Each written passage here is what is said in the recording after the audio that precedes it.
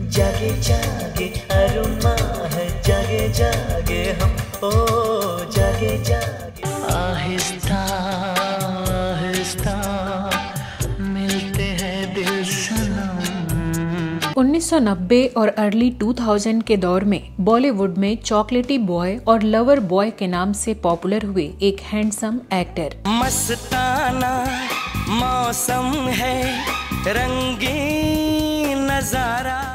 जिनकी पहली film release होने के साथ ही हज़ारों लड़कियाँ इनकी दीवानी हो गई थीं और इन्हीं के जैसे मासूम क्यूट बॉयफ्रेंड की चाहत रखने लगी थीं। चलते चलते यूँ ही रुक जाता हूँ मैं। बैठे बैठे कहीं। इन्होंने अपने दमदार अभिनय का लोहा मनवाकर एक फाइनेस्ट और ब्रिलियंट एक्टर की पहचान बनाई और ज़्यादातर क्लासिक हिंदी फ़िल्मों का ही हिस्सा रहे। मेरी एक दोस्त है जिसे खुशी से डर लगता है। मैं उसे ये दिखाना चाहता हूँ कि खुश होना कितना आसान होता है। समय के साथ इन्होंने अपनी सॉफ्ट आशिक वाली इमेज को भी बदल डाला और रफ एंड टफ स्टाइल और एक्सपेरिमेंटल किरदारों से एक नई मज़बूत पहचान बनाई। मैं जो कर रहा हूँ सही कर रहा हूँ। मैं निहारिका को भगा के नहीं ले जा रहा हूँ। मैं उसे रणविजय सिंह से बचा रहा हूँ जो मेरा करना बनता है। मैं निहारिका से प्यार करता हूँ यार। लेकिन क्या आप जानते हैं कि इन्हें अपने खूबसूरत चेहरे की वजह से कई बार नुकसान भी झेलना पड़ा और चॉकलेटी बॉय की इमेज की वजह से कई फ़िल्मों से हाथ धोना पड़ा? नहीं कर सकते आपने कहा उससे। हराम है ये। और अगर आपने ऐसा कुछ किया तो हम दोनों के बीच में कोई रिश्ता नहीं होगा। और हमारे घर में आपके लिए कोई जगह नहीं होगी। वो हिंदू है भाई। हिंदू? और बहुत फ़र्क है उनमें और हमें समझे आप? क्या आप मानेंगे कि बेहद टैलेंटेड होने के बावजूद इन्हें ज़्यादातर साइड रोल ही मिलते रहे? बॉलीवुड ने इन्हें कभी भी इनके काम का सही क्रेडिट नहीं दिया और ये एक अंडररेटेड एक्टर बनकर रह गए। आपको क्या लगता है? आप आधे शहर के सामने हमारा मज़ाक बना देंगे और हम गाय की तरह खड़े रहेंगे। और क्या आप यकीन करेंगे कि सिख धर्म का होने के बावजूद इन्होंने पगड़ी पहनने से इनकार कर दिया जिससे इनके घर वालों ने इनसे बात तक करनी बंद कर दी? शरारा शरारा शरारा तो कौन है ये एक्टर क्यों इन्हें बॉलीवुड में सही पहचान नहीं मिल सकी? और आज ये क्या कर रहे हैं? बोले थे ना? राजा! दो घंटे का रास्ता है लखनऊ से कानपुर तक का। बोले थे ना? राजा! और तुम तुम साले मियाँ बीवी ज़िंदगी झंझ कर दियो हमारी। चुपचाप जाके बाइक पे बैठो और चलो हमारे साथ। और तुम बेटा, तुम तो तीतर रोलो, समझे? बताएँगे और भी बहुत कुछ। आप बने रहिए हमारे साथ।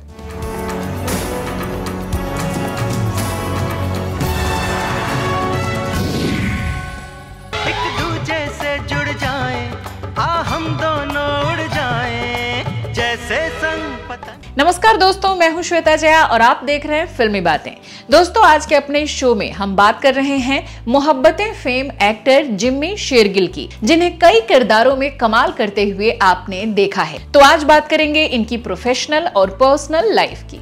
हार नहीं, जीत नहीं, जहाँ प्यार है जिम्मी शेरगिल का जन्म 3 दिसंबर 1970 को उत्तर प्रदेश के गोरखपुर ज़िले के सरदार नगर में हुआ था। ये वहाँ का एक नामी जमींदार सिख परिवार था। तब इनका नाम रखा गया जसजीत सिंह शेरगिल और निक नेम जिम्मी से घर वाले बुलाते थे। इनके पिता का नाम सत्यजीत सिंह शेरगिल था, जो एक पेंटर थे। तो वहीं जिम्मी के पापा की बुआ अमृता शेरगिल एक फ़ेमस भारतीय चित्रकार थीं। जिनका अपने जमाने में काफ़ी नाम था। जिम्मी की मम्मी का नाम बलराज कौर था, जो एक गृहिणी थी। जिम्मी के एक भाई भी थे, जिनका नाम अमन शेरगिल था। जिम्मी ने पहले गोरखपुर के एक पब्लिक स्कूल से पढ़ाई की, फिर लखनऊ के सेंट फ्रांसिस कॉलेज में एडमिशन लिया। लेकिन साल 1985 में ये पंजाब चले गए, जहाँ इनका पुश्तैनी घर था।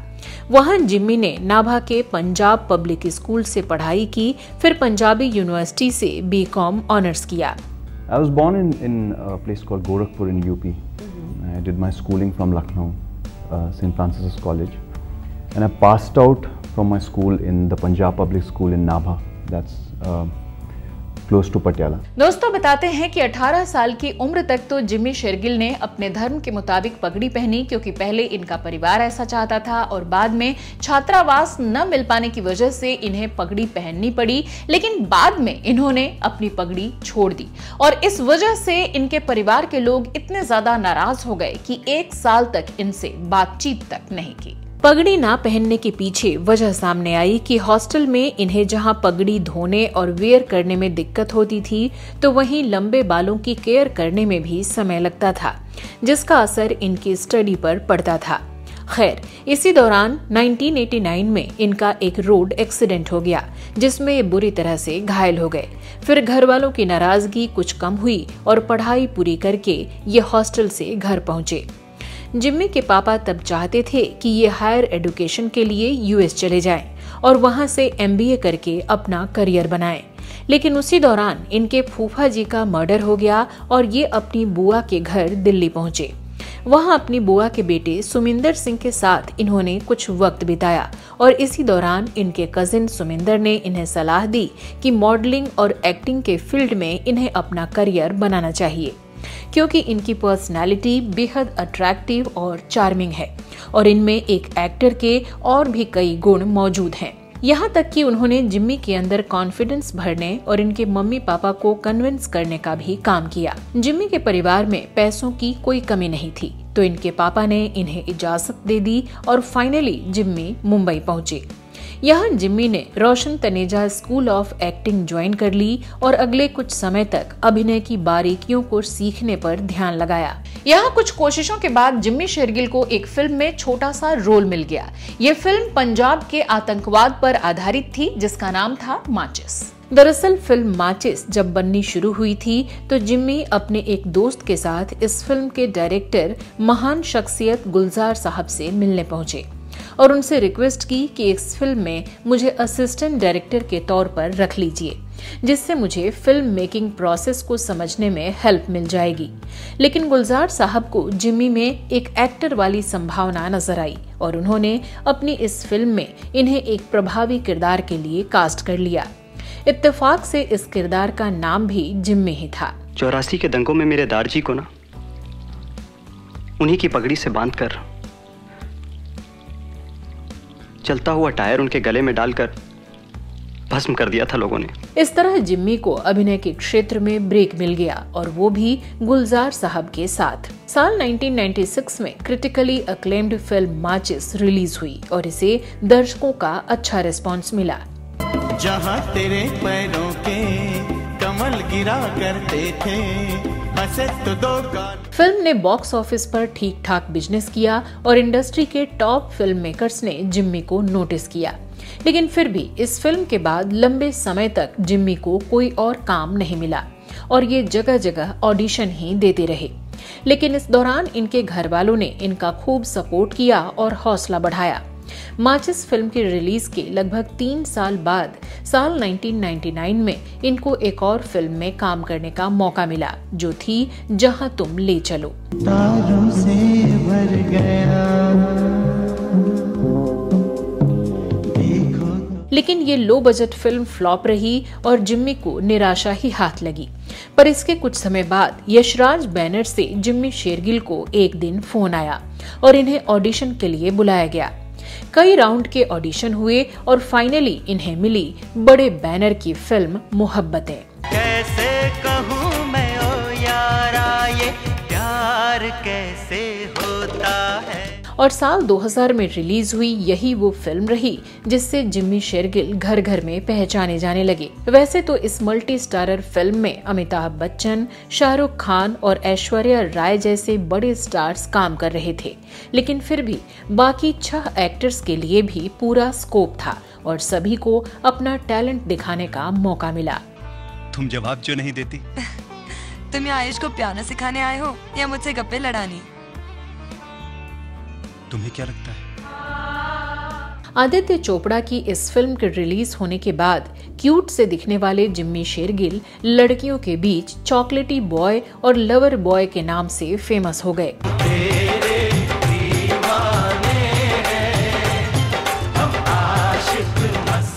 वैसे तो जिम्मी को करियर की शुरुआत में ही बड़े बड़े स्टार्स के साथ स्क्रीन शेयर करने का मौका मिला, लेकिन साथ ही इन्हें चॉकलेटी बॉय वाले इमेज से नुकसान भी हुआ, जिसकी चर्चा हम आगे करेंगे। चलते यूँ ही रुक जाता हूँ मैं, बैठे बैठे कहीं इसके बाद साल 2001 में जिम्मी की एक और फ़िल्म आई जिसमें ये सोलो हीरो थे और अमीषा पटेल इनके अपोजिट हीरोइन थी। ये फ़िल्म थी ये ज़िंदगी का सफ़र। आहिस्ता आहिस्ता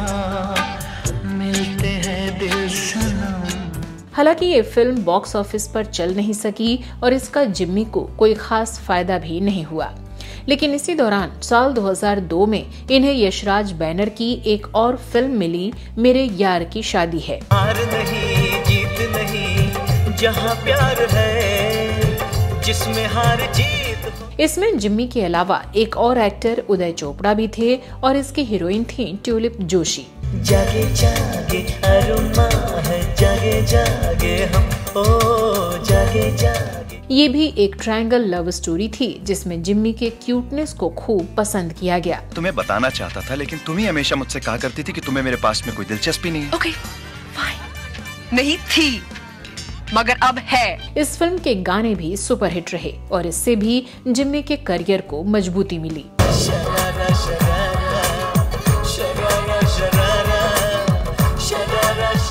साल 2002 में ही इनकी अगली फ़िल्म आई दिल है तुम्हारा। मस्ताना मौसम है रंगीन नज़ारा। हालाँकि इस फ़िल्म में भी दो एक्टर्स और दो एक्ट्रेसेस थीं और ये भी एक लव स्टोरी फ़िल्म थी। इश्क किया है मैंने चोरी नहीं की है तेरे संग या लेकिन अब तक जैसे एक लवर बॉय का ही किरदार होने के बावजूद जिम्मी ने इसमें अपने अभिनय का कमाल दिखाया और लीड एक्टर अर्जुन रामपाल पर भारी पड़े। क्यों नहीं करूँगा प्यार का नाटक? ज़रूर करूँगा। अरे ऐसा नाटक करूँगा कि तुम्हें पता भी नहीं चलेगा कि मैं नाटक कर रहा हूँ या असलियत है। इसी साल इनकी एक और फ़िल्म रिलीज़ हुई दिल विल प्यार व्यार जिसमें ढेर सारे एक्टर्स की भरमार थी। रहने तो छोड़ो भी जाने दो यार। हम ना करेंगे प्यार। इस फ़िल्म में 16 रिमिक्स गाने थे जो ओल्ड सॉन्ग्स को ही तोड़ मरोड़ कर बनाए गए थे और फ़िल्म की कहानी में भी कोई खास दम नहीं था। हसीना वाली जाने जहाँ ढूंढती है काफिर आँखें किसका। इस साल जिम्मी की चौथी रिलीज्ड फ़िल्म रही कहता है दिल बार बार जिसमें ये सोलो हीरो थे। दीवानों को पता है। इश्क तो ये भी एक रोमांटिक लव स्टोरी फ़िल्म थी जिसमें किम शर्मा के साथ इनकी जोड़ी थी लेकिन ये फ़िल्म फ्लॉप साबित हुई। ढोल बजे रात सजे गूंजे शहनाइयाँ शेरगिल को अब तक ये बात समझ में आने लगी थी कि मोहब्बतें फ़िल्म से इनके चॉकलेटी लवर बॉय की जो इमेज बनी हुई है ये नहीं टूटने वाली और इस तरह ये टाइप कास्ट होकर रह जाएँगे। इसी के बाद जिम्मी ने फैसला किया कि ये कुछ अलग हटकर रोल ट्राई करेंगे और इसके लिए इन्हें छोटे मोटे या साइड रोल भी करने पड़े तो भी पीछे नहीं हटेंगे। इसी के बाद जिम्मी ने ऐसी दो फ़िल्में साइन की जिनमें इनका टिपिकल लवर का रोल नहीं था और किरदारों में वैरायटी थी। इनमें से एक फ़िल्म थी हासिल, जो साल 2003 में रिलीज़ हुई। तुमने वो हासिल करने की कोशिश की जिसके तुम काबिल नहीं हो। समझे? मैंने इज़्ज़त से तुम्हें अपना बड़ा भाई क्या कह दिया? तुमने मुझे कमज़ोर समझ लिया? छात्र राजनीति की पृष्ठभूमि पर आधारित इस फ़िल्म में जिम्मी ने एक स्टूडेंट लीडर का किरदार निभाया और अपनी पुरानी छवि को बदलने में काफ़ी हद तक कामयाब भी रहे। वो आपकी वजह से नहीं मेरी वजह से उठ के गई थी। क्या है कि हम एक दूसरे को जानते हैं? कैसे जानते हो? बहुत ज़्यादा वक्त नहीं हुआ है लेकिन वो मेरी तुम्हारी सेटिंग है क्या? वैसे तो इस फ़िल्म की लाइमलाइट इरफान खान ले गए लेकिन फिर भी जिम्मी के अभिनय की भी तारीफ़ हुई और इन्होंने इस फ़िल्म से खुद को वर्सटाइल साबित करने में भी कामयाबी हासिल की। रणविजय सिंह भी मेरा पर्सनल मामला है जावेद। वो मेरे दोस्त हैं मेरे बड़े भाई जैसे हैं। और तुम लोग की भी मदद की थी ना उन्होंने? याद है? सच तो यह है कि वो बुरे नहीं हैं। तुम सब दोगले हो। साल 2003 की ही इनकी एक और फ़िल्म रही मुन्ना भाई एमबीबीएस जिसमें इन्होंने एक कैंसर पीड़ित शख्स की भूमिका निभाई। ये आपने कहा था कि मुझे पहले आना चाहिए था। तो इसका मतलब क्या है? अभी लेट हो गया है। आ, नहीं नहीं। हम कल से ट्रीटमेंट शुरू करेंगे। तो फिर आप ये भी कुछ अलग हटकर किरदार था जो छोटा होने के बावजूद असरदार था और जिम्मी ने इसमें जान डाल दी। सोचा पहले कुछ बन जाओ। को यहाँ बुला लो। जिम्मेदारियाँ निभा लो। फिर जीऊँगा एक दिन अपने लिए। इसमें संजय दत्त अरशद वारसी के साथ इनका एक गाना भी रहा जिसे खूब पसंद किया गया। खुशियों की थाम के बैया साल 2004 में जिमी शेरगिल तीन फ़िल्मों में नज़र आए। ये थीं अग्नि पंख चरस और हम तुम।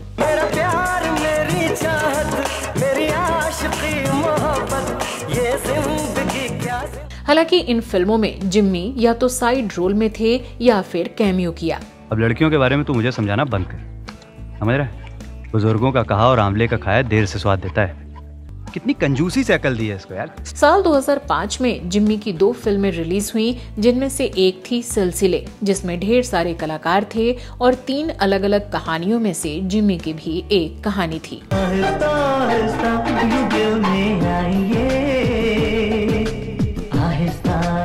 तो वहीं दूसरी फ़िल्म रही यहाँ जिसमें ये सोलो हीरो थे और मिनीशा लांबा इनके अपोजिट हीरोइन थी। तुमने हमारी अदा पर टॉर्च क्यों मारी? अदा? हाँ हमारी पोती। उनका नाम अदा है। हाय अल्लाह इतनी जल्दी नाम भी जान गया? जी आप ही ने तो बताया है। हालाँकि ये दोनों ही फ़िल्में नहीं चल पाई और जिम्मी के करियर को इससे नुकसान ही हुआ। मैं अंदर जाऊँगा सर। जज्बाती बनकर कोई फैसला मत लो कैप्टन। आपसे किसने कह दिया सर कि एक फौजी को जज्बाती होने का कोई हक नहीं है? और वैसे भी मैं जज्बाती नहीं हो रहा हूँ। मैं टैक्टफुल बात कर रहा हूँ। क्रैक फोर्स को ऑपरेशन के लिए वक्त चाहिए। इसके बाद साल 2006 में जिम्मी कई फ़िल्मों का हिस्सा रहे। जैसे Pratiksha Umar Tom Dick and Harry यूँ होता तो क्या होता लगे रहो मुन्ना भाई बस एक पल और रह गुजर। सात लाख रुपए चाहिए। काय को? देखिए मैंने अपने फादर के सारे पैसे शेयर्स में बर्बाद कर दिए। मेरा फ्रेंड कहता था डबल हो जाएँगे। घर खरीदने के लिए पैसे बचा रहे थे। कहाँ से लाऊं? लेकिन इनमें से एक भी फ़िल्म ऐसी नहीं रही जिसमें जिम्मी का कोई असरदार रोल रहा हो या रहा भी तो वो फ़िल्म चली नहीं। इसलिए जिम्मी का ये साल सफलता के हिसाब से बेकार ही रहा। तीन साल मुझे तो सारी ज़िंदगी इस व्हील चेयर में बितानी पड़ेगी। मैं जानता हूँ कि गोली तूने जानबूझ के नहीं चलाई थी। लेकिन उसका जिम्मेदार तो तू ही है ना? साल 2007 में जिम्मी की कुल सात फ़िल्में रिलीज़ हुईं, जो रहीं Eklavya the royal guard, Delhi heights, Raqeeb, Victoria number 203 छोड़ो न यार, दस कहानियाँ और स्ट्रेंजर्स। कुछ गुनाह ऐसे होते हैं, जिन्हें करने में बहुत मज़ा आता है। ऐसे ही कुछ गुनाह मैंने भी किए। तुम्हारे ही कमरे में, तुम्हारी ही फ़ोटो के सामने। इनमें से डेली हाइट्स को छोड़कर एक भी ऐसी फ़िल्म नहीं थी जिसमें जिम्मी सोलो हीरो हों। तो वहीं ये सभी मल्टी स्टारर फ़िल्में लगभग फ्लॉप ही रहीं। दे दी ना औरत के अंदाज में गाली। Good I like that shut up okay लेकिन एक शर्त पर अगर आप ये तोहफा कबूल कर लें। क्या ये? हाँ? लंगड़े घोड़े की नाल है। साल 2008 में जिमी शेरगिल दो फ़िल्मों का हिस्सा रहे हँसते हँसते और अ वेडनेसडे देखो मैं जिस कंपनी ने मुझे ये ऑफ़र दी है उन्होंने मेरे दिमाग की कीमत लगाई है। और मुझे लगता है कि ये एक अच्छी अपॉर्चुनिटी है। I don't let go of it इनमें से अ वेडनेसडे फ़िल्म तो सुपरहिट रही और जिमी के किरदार को भी पसंद किया गया लेकिन ये बेहद छोटा रहा। ये सब ठीक नहीं हो रहा है। ये सारे बच गए और हमें बॉम्ब्स का पता नहीं चला तो? आरिफ राठौर सर ने कहा है। नहीं जय। इन तीनों को छोड़ इसको साथ लेके चलते हैं और ये तब छूटेगा जब वो हमें बॉम्ब्स की एग्जैक्ट लोकेशन बताएगा। साल 2009 में जिम्मी की दो फ़िल्में आईं बैचलर पार्टी और मरेगा साला।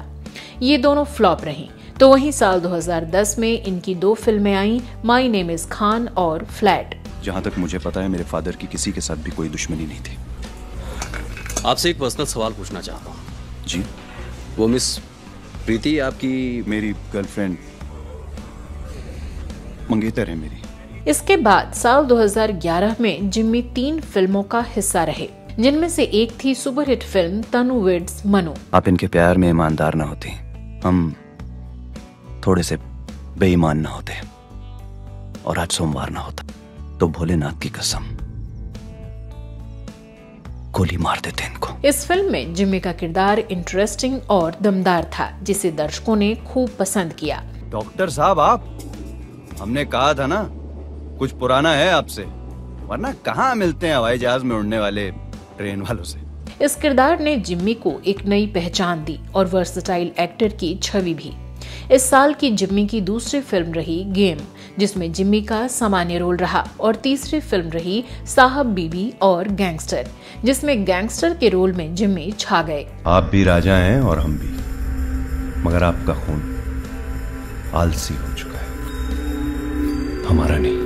साल 2012 में ये डेंजरस इश्क और शू बाइट में नज़र आए लेकिन कुछ फ़ायदा नहीं हुआ। इसके बाद साल 2013 में जिम्मी राजधानी एक्सप्रेस जो फ्लॉप रही स्पेशल 26 जिसमें छोटा मगर दमदार अपियरेंस रहा साहब बीवी और गैंगस्टर रिटर्न्स जो सीक्वल थी और फोर टू का वन जिसमें जिम्मी पहली बार कॉमेडी करते नज़र आए। विजय तुम? पूजा तुम? तुम यहाँ क्या कर रही हो? अरे तुम यहाँ क्या कर रहे हो? और मैं यहाँ चोरी कर मेरा मतलब है तुम्हें सरप्राइज़ देने आया हूँ। सरप्राइज़ लेकिन तुम इस बंगले का एड्रेस भी नहीं जानती। अरे पूजा तुम भूल रही हो कि मैं एक सीबीआई ऑफिसर हूँ। हालाँकि इसी साल की फ़िल्म बुलेट राजा में भी इनके अभिनय को पसंद किया गया। हमें पता चल गया वो कहाँ है। अखंड वीर और उसके भतीजों के साथ जंगल में शिकार खेल रहा है। वहीं छुप के मारेंगे साले को। साल 2014 में जिम्मी फगली बैंग बैंग और डर एट द मॉल फ़िल्मों में नज़र आए। जो देश के लिए लड़ते हैं उनकी मौत का काउंटडाउन उनकी पहली सांस के साथ शुरू हो जाता है। साल 2015 में इनकी एक मल्टी स्टारर फ़िल्म युवा के अलावा तनु वेट्स मनु रिटर्न्स भी रिलीज़ हुई जिसमें एक बार फिर से जिम्मी अच्छे दमदार रोल करते दिखे और इस फ़िल्म के लिए इन्हें बेस्ट सपोर्टिंग एक्टर का फ़िल्म फेयर नॉमिनेशन भी मिला। यहाँ एक बार घोड़ी पे चढ़ना नसीब नहीं हुआ। ये साले को घोड़ी पे घूम रहे तब से। साल 2016 में जिम्मी की कुल आठ फ़िल्में रिलीज़ हुईं। लेकिन अब तक ये ज़्यादातर फ़िल्मों में या तो साइड रोल करते नज़र आ रहे थे या फिर कैमियो में दिख रहे थे। ये फ़िल्में रही शॉर्टकट सफारी ट्रैफ़िक शोरगुल, मदारी हैप्पी भाग जाएगी, ये तो टू मच हो गया, दिल साला सन की और एनिमेटेड फ़िल्म महायुद्धा राम। इतिहास सिर्फ़ वीरों का होता है शायर कभी इतिहास नहीं बनाते। वीर भोग्य वसुंधरा। जिम्मी साल 2017 में शुभ मंगल सावधान और रांची डायरीज में भी नज़र आए। जिनमें छोटे ही रोल रहे तो साल 2018 में मुक्केबाज, वीरे की वेडिंग, फ़ेमस साहब बेबी और गैंगस्टर थ्री और हैप्पी फिर भाग जाएगी में अभिनय किया। देखिए, तीन छड़े हैं। राहुल, सलमान भाई और मैं। और हमने आपस में डिसाइड किया है जिस दिन भी शादी करेंगे इकट्ठे करेंगे। साल 2019 में जिम्मी कई फ़िल्मों का हिस्सा रहे। जैसे दे दे प्यार दे फैमिली ऑफ़ ठाकुरगंज झूठा कहीं का जजमेंटल है क्या पी से प्यार एफ़ से फरार और पति पत्नी और वो। हमारा याचना के साथ कल पीली कोठी पे हाजिरी भरी है समझ रहे हैं? वरना हम सिर्फ़ खोद के निकालते नहीं है खोद के निकाल के फिर गाड़ देते हैं। साल 2021 में जिम्मी एक action thriller film collar bomb में नज़र आई जिसमें ये सोलो हीरो थे और ये फ़िल्म डिज्नी हॉटस्टार के डिजिटल प्लेटफॉर्म पर रिलीज़ हुई। मिसेस फर्नांडिस को जितना कम पता चले उतना अच्छा है। हम कहीं अंदर जाके बात कर सकते हैं। Sure sure. साल 2022 में जहाँ जिम्मी फ़िल्म डबल एक्सेल में कैमियो करते नज़र आए तो वहीं साल 2023 यानी मौजूदा साल में इन्होंने ऑपरेशन मे फेयर नाम की थ्रिलर फ़िल्म में एक डिटेक्टिव का दमदार किरदार प्ले किया All these victims have been killed by somebody who's a left-handed person. I think you need a break. तो वहीं इसी साल जिम्मी की एक और फ़िल्म आज़म भी रिलीज़ हुई जिसमें इनके साथ अभिमन्यु सिंह भी अहम भूमिका में नज़र आए। नवाब के जाने के बाद इनके रास्ते का सबसे बड़ा कांटा तू है भाई। इन सबको एक साथ एक रात में मारना होगा। इस फ़िल्म के प्रमोशन के लिए ये दोनों एक्टर्स कई मीडिया चैनलों पर इंटरव्यू देते भी नज़र आए। No, I think I was told uh, right in the beginning that uh, we are not going to take from anything uh, which has come before. आगे आने वाले साल 2024 की बात करें तो जिम्मी की दो फ़िल्में आने वाली हैं जो हैं औरों में कहा दम था और मिस्टर आई इन हिंदी फ़िल्मों के अलावा साल 2005 से अब तक जिम्मी ने लगभग 16 पंजाबी फ़िल्मों में भी काम किया और इनमें से कई हिट भी नहीं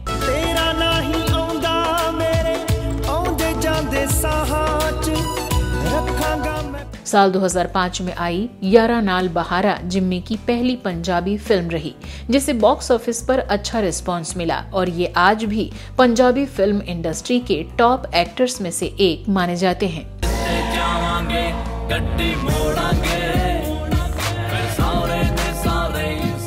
तो वहीं जिम्मी ने चार फ़िल्मों का प्रोडक्शन भी किया, जिनमें पंजाबी फ़िल्में भी शामिल रहीं। इसके अलावा जिम्मी शेरगिल ने कई वेब सीरीज़ में भी काम किया जिनमें से खास रही रंगबाज फिर से योर ऑनर चूना और रणनीति। झंडा लहराने से इलेक्शन नहीं जीता जाएगा। स्वच्छ समाज पार्टी के नाम पे कलंक हैं आप। क्या हुआ हम देख रहे थे ऊपर से क्या हाल किए हैं आप हमारे कॉन्स्टिट्यूंसी का। छीछाल लेकर गंदगी हर जगह। इनमें से रंगबाज फिर से को दर्शकों का अच्छा रिस्पांस मिला और क्रिटिक्स की तारीफें भी। तो ये हुई बात जिम्मी शेरगिल के फिल्मी सफ़र की। चलिए अब बात करते हैं इनकी पर्सनल लाइफ की, इनके अफेयर्स और शादी की।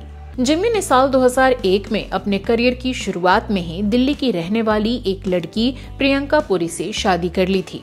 प्रियंका अपने पापा के साथ मिलकर इंटीरियर का बिज़नेस संभालती थी। और अपनी पहली फ़िल्म माचिस के रिलीज़ के बाद जब जिम्मी अपने कजिन से मिलने दिल्ली गए थे तो वहीं पहली बार इनकी मुलाकात एक शादी के दौरान प्रियंका से हुई थी। जिम्मी और प्रियंका का एक बेटा हुआ, जिसका नाम वीर रखा गया।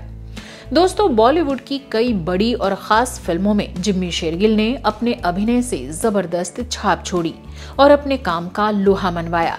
लेकिन फिर भी जो पॉपुलैरिटी और स्टारडम इन्हें मिलना चाहिए था, वो नहीं मिल सका। जान लेने वाली चीज़ है।